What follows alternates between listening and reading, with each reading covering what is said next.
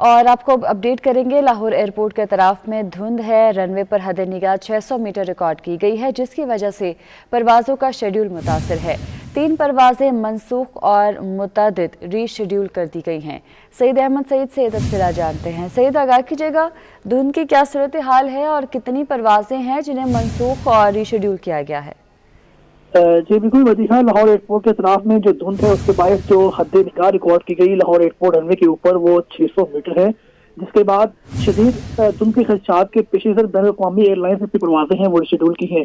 आज लाहौर एयरपोर्ट से तीन परवाजें हैं, वो मनसूख की गई, जबकि पंद्रह से ज़्यादा ऐसी परवाजें हैं जो इसको रीशेड्यूल किया गया। जिनमें रियाज से आने वाली परवाज है एक्स वाई तीन एक सात और रियाज जाने वाली परवाज एक्स वाई तीन एक आठ को है, वो मनसूख किया गया।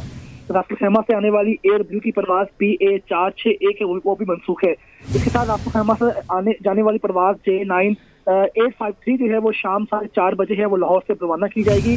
दोहा जाने वाली प्रवास क्यू आर छः दो एक जो है, वो दोपहर बारह बजकर तीस मिनट पर है, वो लाहौर से उसे रवाना किया जाएगा। जबकि रात एक बजे दोहा से आने वाली प्रवास क्यू आर छः दो एक है, वो दोपहर ग्यारह बजकर बीस मिनट पर है, वो लाहौर पहुंचेगी।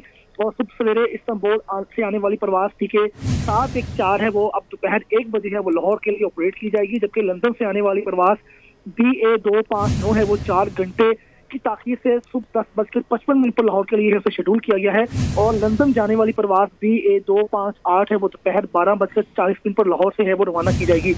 इसी तरह लाहौर से इस्तांबुल जाने वाली प्रवास टी के सात एक पाँच है। वो दोपहर दो बजकर तीस मिनट पर लाहौर से रवाना की जाएगी। कुल पंद्रह से जायद परवाजें ऐसी हैं जिनको रीशेड्यूल किया गया और तीन परवाजें हैं जो कि मनसूख की गई। जी, ठीक है, बहुत शुक्रिया आपका, सईद।